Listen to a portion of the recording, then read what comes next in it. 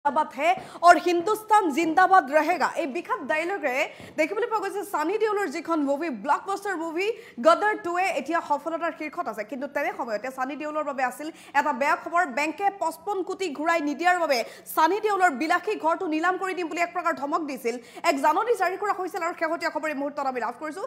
এই নটিচ বৰ্তমান উঠাই লোৱা হৈছে। শেহতীয়া খবৰ বিগ আপডেট অভিনেতা ছানী দেউলৰ বিৰুদ্ধে জাৰি কৰা নটিচ উঠাই ল'লে বেংকে বেংক অফ বৰোদাক পঁচপন্ন কোটি টকা দিব লগা আছিল ছানী দেউলে আৰু ছানী দেউলৰ পৰা পঁচপন্ন কোটি টকা ঘূৰাই বিচাৰি বাতৰি কাকতত জাননী জাৰি কৰিছিল বেংকে। বেংকে জাৰি কৰা এই নটিচৰ পাছতে খলকনৰ সৃষ্টি হৈছিল বি টাউনত বেংক অফ বৰোদাই উঠাই লৈছে এই নটিছে আৰু সেয়া শেহতীয়া আপডেট আমি লাভ কৰিছোঁ। কাৰিকৰী কাৰণত এই নটিচ উঠাই লোৱা বুলি উল্লেখ কৰিছে বেংক কৰ্তৃপক্ষই। বেংক কৰ্তৃপক্ষৰ তৰফৰ পৰা স্পষ্টীকৰণ দিয়া হৈছে এই সন্দৰ্ভত।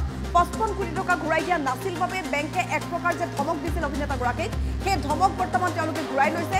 বৰ্তমান সেই নটিচ তেওঁলোকে ঘূৰাই লৈছে। বাতৰি কাকতত ঋণ বিচাৰি নটিচ দিছিল বেংকে আৰু তাৰ পাছতে বি টাউনত এই বিষয়টোক লৈ প্ৰতিক্ৰিয়া আৰম্ভ হৈছিল। ঘৰ ঘূৰাই নিদিলে বেংকে ছানী দেউলৰ ঘৰ নিলাম কৰি দিম বুলিও জাননী জাৰি কৰিছিল। আৰু মুম্বাইত থকা বিলাসী অট্টালিকা নিলাম কৰিব বুলি ছানী দেউললৈ নটিচ জাৰি কৰা হৈছিল। এফালে গদৰটোৰ সফলতা আনফালে ছানী দেউলৰ বাবে আছিল এইটো এটা বেয়া খবৰ। কিন্তু শেহতীয়া খবৰ আমি লাভ কৰিছোঁ এই ঋণৰ গেৰেণ্টাৰ হিচাপে নাম দিয়া আছে পিতৃ ধৰ্মেন্দ্ৰৰ। আৰু তাৰ পাছতে এই নটিচ উঠাই লোৱা হৈছে বুলি উল্লেখ কৰিছে বেংকে ষ্টেটমেণ্ট দিছে বৰ্তমান এই সন্দৰ্ভত বেংক অফ বৰোদাৰ তৰফৰ পৰা। শেহতীয়াকৈ যিখন নটিচ আহিছিল যে পঁচপন্ন কোটি টকা ছানী দেউলে দিব লগা আছে সেই ঋণ ঘূৰাই নিদিলে ছানী দেউলৰ ঘৰ নিলাম কৰিবলৈ বাধ্য হ'ব। আৰু এই বিশেষ খবৰটোৱে খলকনৰ সৃষ্টি কৰিছে বি টাউনত। সমগ্ৰ ছবি জগততে এই বিষয়টোক লৈ চৰ্চা আৰম্ভ হৈছিল। কিন্তু শেহতীয়া খবৰ বিগ আপডেট আমি লাভ কৰিছোঁ। ছানী দেউলৰ বাবে জাৰি কৰা এই নটিচ বৰ্তমান উঠাই লোৱা হৈছে।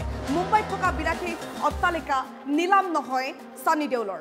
ছানী দেউলৰ বিৰুদ্ধে ঋণ বিচাৰি জাৰি কৰা জাননী বৰ্তমান বেংক কৰ্তৃপক্ষই উঠাই লৈছে আৰু বেংকে ষ্টেটমেণ্ট বৰ্তমান এই সন্দৰ্ভত জাৰি কৰিছে। আৰু শেহতীয়াকৈ আজি তেওঁলোকে এই ষ্টেটমেণ্টটো দিছে যে বেংক অফ বৰোদাক যি পঁচপন্ন কোটি টকা দিব লগা আছিল সেই বিষয়টোক লৈ ঘৰ নিলাম কৰিম বুলি যিবোৰ ধমক দিয়া হৈছিল সম্পূৰ্ণভাৱে সেই নটিচ উঠাই লোৱা হৈছে। আৰু কাৰিকৰী কাৰণত এই নটিচ উঠাই লোৱা হৈছে বুলি উল্লেখ কৰিছে বেংক কৰ্তৃপক্ষই পঁচপন্ন কোটি টকা ঘূৰাই দিয়া নাছিল বাবে বেংকে নিলাম কৰিব খুজিছিল। ছানী দেউলৰ বিলাসী অট্টালিকা। মুম্বাইত থকা বিলাসী অট্টালিকা নিলাম কৰাৰ খবৰটোৱে খলকনৰ সৃষ্টি কৰিছিল। সমগ্ৰ বি টাউনত এই বিষয়টোক লৈ চৰ্চা আৰম্ভ হৈছিল। প্ৰতিগৰাকী অভিনেতা অভিনেত্ৰীৰ মুখে মুখে এই বাতৰি বাগৰি পৰিছিল আৰু সমগ্ৰ ছবি জগততে বলিউডতে এই বিষয়টোক লৈ যথেষ্ট চৰ্চা হৈছিল। এফালে যদি ছানী দেউলৰ এই ছবিখনে ইতিমধ্যে যথেষ্ট হিট হোৱা দেখিবলৈ পোৱা গৈছে ব্লকবাষ্টাৰ ছবিখনে ইতিমধ্যে তিনিশ কোটিৰ ঘৰ অতিক্ৰম কৰিছে। উল্লেখ কৰিব লাগিব ইতিমধ্যে দ্য কেৰেলা ষ্টৰীৰ ইনকামকো পিছ পেলাইছে ছানী দেউলৰ গদৰ টু ছবিখনে।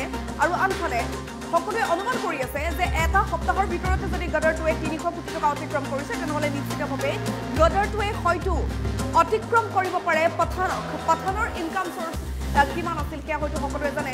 পঠানৰ সেই ইনকাম চ'ৰ্চটোকো ইতিমধ্যে বক্স অফিচত সকলো ৰেকৰ্ড ব্ৰেক কৰিবৰ বাবে ছানী দেউলৰ গদৰ মুভিখন আগবাঢ়ি গৈ আছে।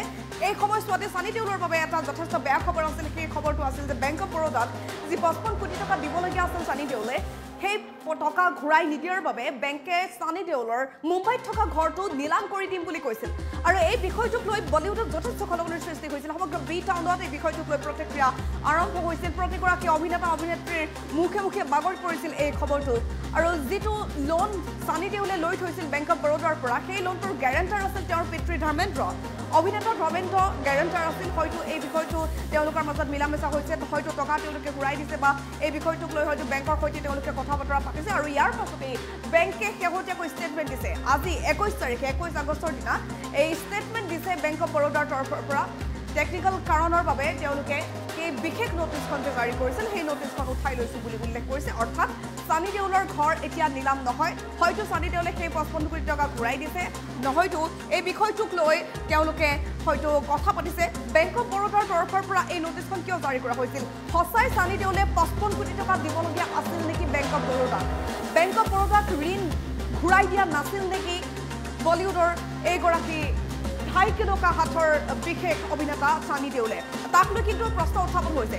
অৱশ্যে এই বিষয়টো হয়তো ছেটেলমেণ্ট হৈ গৈছে তেওঁলোকৰ মাজত। বেংক অফ বৰোদাক যদিহে পঁচপন্ন কোটি টকা সঁচাই দিবলগীয়া আছিল হয়তো ছানী দেউলে সেই টকা ঘূৰাই দিছে।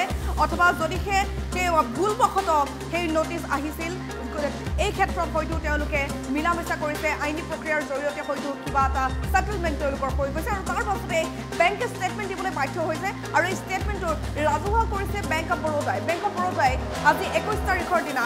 এই বিশেষ ষ্টেটমেণ্টটো দিছে যে শেহতীয়াকৈ অৰ্থাৎ কালিৰ দিনটোত বিছ তাৰিখে যিটো ন'টিছ পাব্লিছ কৰা হৈছিল ছানী দেউলক মেনশ্যন কৰি যে তেওঁ পঁচপন্ন কোটি টকা ঘূৰাই দিয়া নাই। গতিকে এই ক্ষেত্ৰত বেংকে বিশেষ এটা পদক্ষেপ গ্ৰহণ কৰিবলৈ বাধ্য হ'ব। অৰ্থাৎ ছানী দেউলৰ ঘৰটো নিলাম কৰা হ'ব।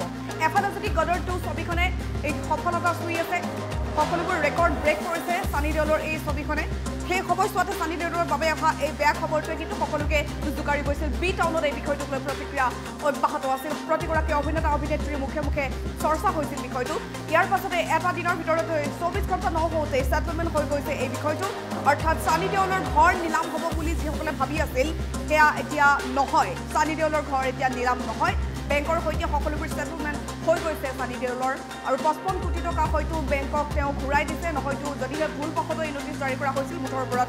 কিবা এটা ছেটেলমেণ্ট তেওঁলোকৰ মাজত হৈছে আৰু অৱশেষত বেংক অৱ বৰোদাৰ তৰফৰ পৰা এই ষ্টেটমেণ্ট দিবলৈ বাধ্য হৈছে। কোৱা হৈছে যে টেকনিকেল ৰিজনৰ বাবে সম্পূৰ্ণৰূপে এই নটিছখন উঠাই লোৱা হৈছে। মুম্বাইত থকা বিলাসী অট্টালিকাটো এতিয়া নিলাম নহয় ছানী দেউলৰ। এইটো এটা বিগ আপডেট আমি জনাই আছোঁ।